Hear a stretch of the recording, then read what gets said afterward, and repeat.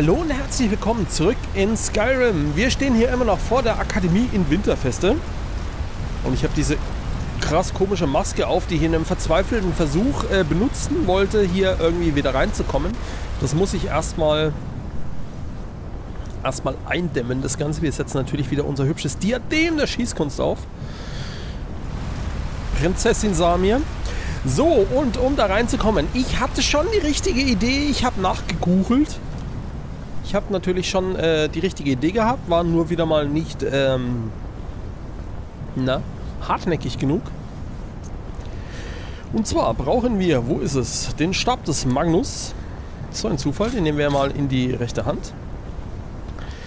Und ja, müssen damit dieses Schild hier abbauen. Ja, ich habe das jetzt schon mal probiert, aber muss hier wohl draufhalten wie ein Bekloppter. Und es gibt auch einen Bug, dass es wohl manchmal nicht funktioniert, bevor der Stab komplett leer ist. Ja, und das hoffen wir dass das jetzt nicht passiert. Wir müssen daran jetzt so ein bisschen rumfingern. Ja, und wenn man einen Schritt weggeht, sieht man es auch. Also man darf nicht direkt ansetzen, sondern man muss einen Schritt zurückgehen. So, und jetzt müssen wir Ankano bezwingen, offensichtlich. Wenn ich dem, was da steht, äh, Folge leiste. Tja, dann ziehen wir mal los. Schauen wir mal an, was Ankano so zu bieten hat. Na, Samir kann nicht mehr darüber springen. Da müssen wir jetzt wohl wirklich bis reingehen. Hier liegt äh, eine Leiche. Geisterhafte Überreste. Nehmen wir mal mit. Wie ist die hierher gekommen? Ich habe keine Ahnung. So, und dann gehen wir hier rein. Halle der Elemente. Hall of the Elements. Sollte schnell gehen. So. Abgeschlossen. Bezwinge Ankano. Jetzt bin ich verwirrt.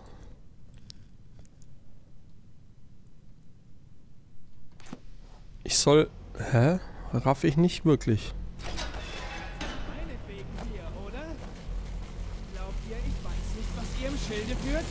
Glaubt ihr, ich kann euch nicht vernichten? So, vielleicht muss ich ihn ja doch erst töten. Ich schieße ihm einfach mal in den Kopf. Ja, gerne. Ja, okay, das bringt nichts. Überhaupt keine Wirkung. Ich stehe über euren jämmerlichen magischen Versuchen. Ihr könnt mir nichts anhaben. Das waren keine magischen Versuche. Ich habe dir in den Kopf geschossen. Hm, probieren wir das doch mal. Wenden wir den Stab mal auf das Auge an. So.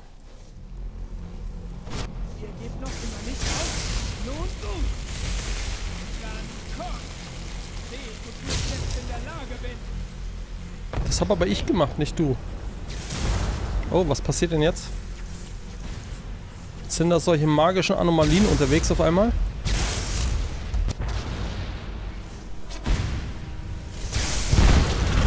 Kann ich die damit auch besiegen? Hm, kann ich die erschießen? Man hat ja beim letzten Mal ganz gut funktioniert eigentlich. Ja, funktioniert auch bei diesem Mal wieder ganz gut. Mein Bogen ist besser als deine Magie. Hoppla, ich habe gedacht, der bewegt sich. Was habe ich da eigentlich für Pfeile? Vulkanglaspfeile. Sehr hübsch eigentlich. Viel zu hübsch, um sie zu verschießen und splittern die nicht. Frage ich mich eigentlich schon, seit ich Skyrim spiele, wie das mit diesem Vulkanglas überhaupt funktioniert. Zack. Einer noch.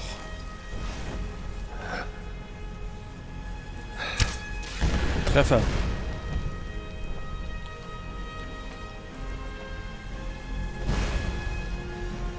Benor. Also die stehen zumindest auf Reden, die sind nur irgendwie befestigt.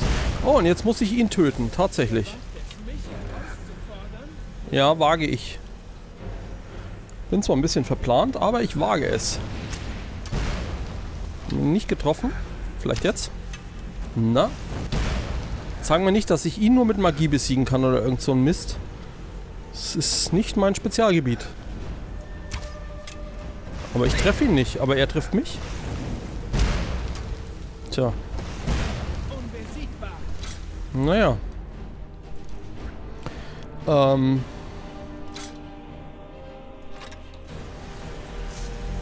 Probieren wir das nochmal mit dem Stab. Wie kann ich dich besiegen, mein Guter? Kann ich den nochmal aufs Auge machen irgendwie? Verändert sich da was? Auch nicht wirklich, ne? Hm.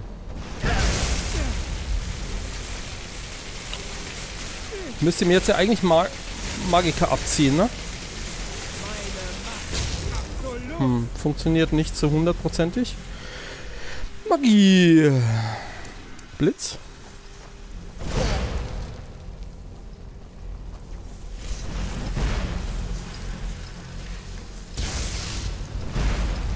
Hm. Okay, funktioniert auch nicht so wirklich. Ähm ich habe das Gefühl, ich muss hier etwas, schon irgendetwas mit dem Auge machen, ne?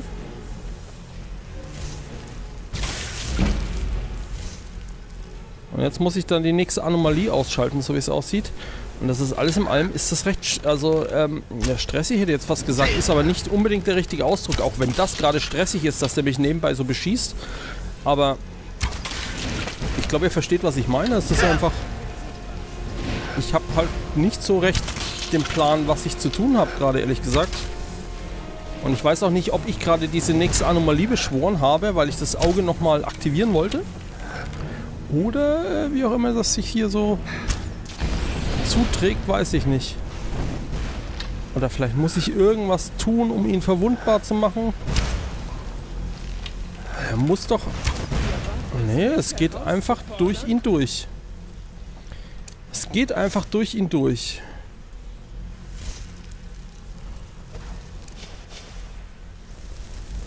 So, kann mir der hier helfen bei der ganzen Angelegenheit?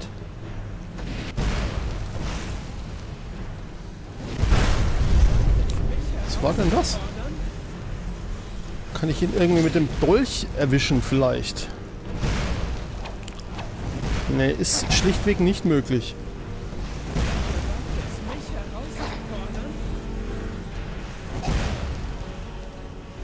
Hm. Hm. Okay, ähm... Schauen wir uns nochmal den Stab des Magnus an. Ich vermute mal, dass es schon damit irgendwie geht. Ich lade ihn erstmal wieder auf, würde ich sagen.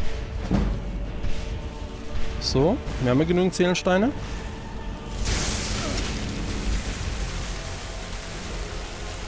Ich hoffe, dass das der Schlüssel zum Erfolg ist.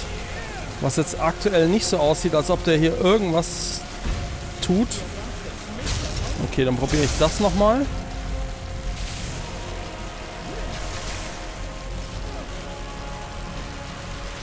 Ja, da ändert sich was. Und kann ich ihn jetzt kann ich ihm Damage machen. Er hat ihn mehr oder weniger unverwundbar gemacht. Das Auge, es war ja schon fast irgendwie logisch.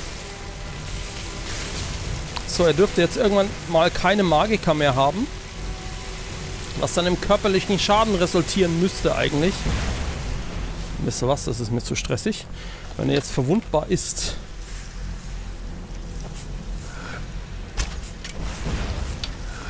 Muss ich jetzt... Ah, ich muss den Dings nochmal machen. Frage mich, muss ich die Anomalien eigentlich unbedingt machen oder nicht? Ich glaube, die Anomalien sind notfalls da, um sich geladene Seelensteine zu holen in diesem Kampf. Wenn man den Stab des Magnus halt entlädt und keine dabei hat, äh, braucht den ja offensichtlich, um das hier irgendwie auf die Reihe zu kriegen. So. Und ich glaube, ich ignoriere die magischen Anomalien jetzt erstmal.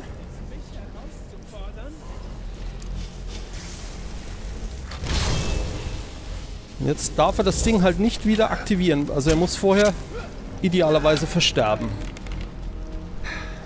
Ja, hat geklappt, würde ich sagen. So, kann man einen Pfeil mitnehmen. Also, Quest Capiche. So, die Anomalie, da kümmern die sich jetzt drum. Das habe ich jetzt keine große Lust dazu. Der hatte nichts weiter dabei. Also eigentlich ganz logisch, nur, ähm, ja genau, das sind Seelensteine drin. Das ist, das ist definitiv da, um...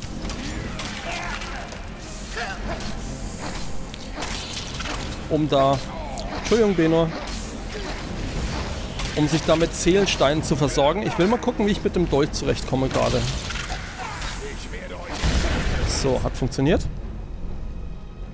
So, wie soll ich da jetzt rankommen, bitte, der Herr? So, im Sprung. Sehr schön. Gut, jetzt sollen wir hier mit Tolfdir reden. Hallo Tolfdir. Ich wusste, ihr würdet es schaffen. Ja, ich nicht. Was machen wir denn jetzt? Ich weiß nicht. Arcano ist fort. Aber was immer er mit dem Auge getan hat, dauert offenbar noch an. Ich habe keine Ahnung, was wir machen sollen. Blöd. Jetzt sind wir schon zu zweit. Oh, und da haben wir den Kollegen natürlich wieder. Quaran hier. Hallo. Darf ich mich dann kurz mal zu dir hindrehen? Wir wussten, dass ihr Erfolg haben würdet. Euer Sieg hier rechtfertigt unseren Glauben an euch.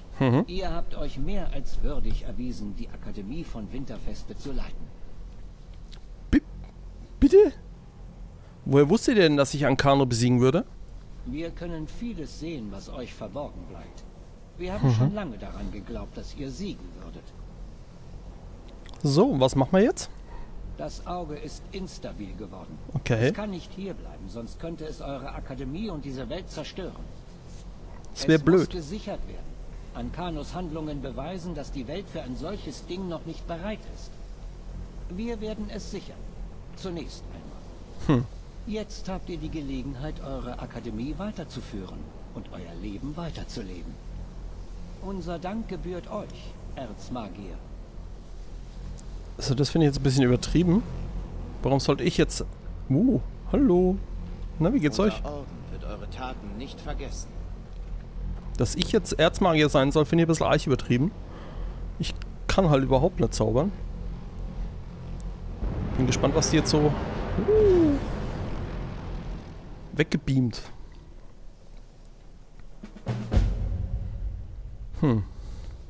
Ihr habt es geschafft. Die Akademie ist dank euch wieder sicher. Ich wusste, dass ihr das Zeug dazu hattet. Ich wage zu behaupten, dass die Siejiks recht haben. Meiner Meinung nach hat es niemand mehr verdient, Erzmagier zu werden. Hier, betrachtet Okay. diese als euer Eigentum. Und ebenso die Wohnräume des Erzmagiers. Wenn ihr ein Rat braucht, findet ihr mich hier.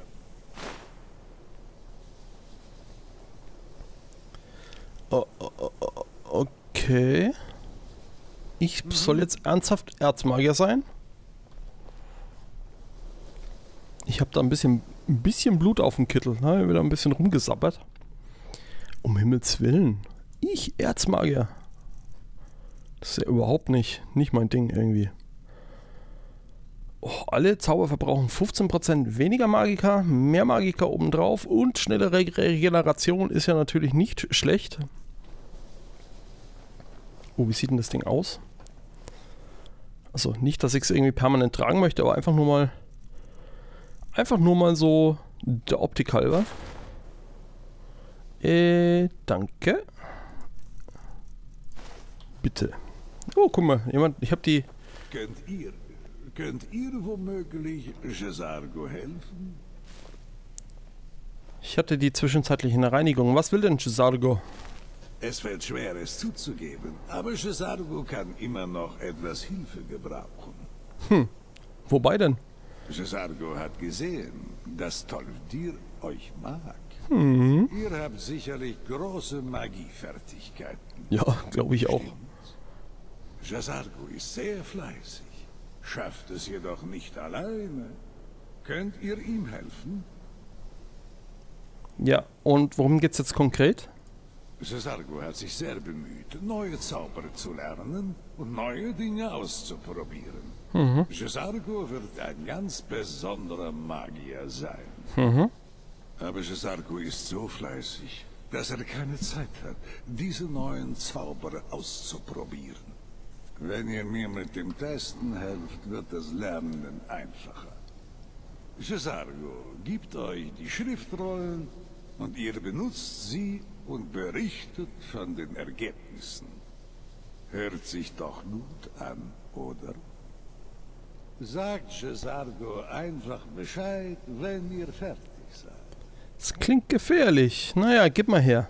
Ah, da könnt ihr nicht widerstehen, stimmt? Ja, aber nur weil ich dich als Begleiter haben will.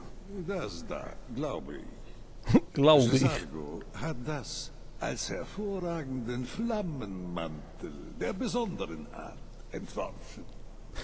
der ist besonders bei Untoten stark. Okay. Fackelt sie im Handumdrehen ab. Cesargo gibt euch viele dieser Schriftrollen. Probiert sie aus und kommt wieder, wenn ihr sagen könnt, ob sie funktionieren.